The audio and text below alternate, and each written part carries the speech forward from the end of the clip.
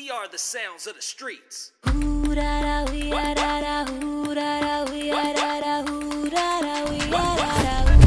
Careful now.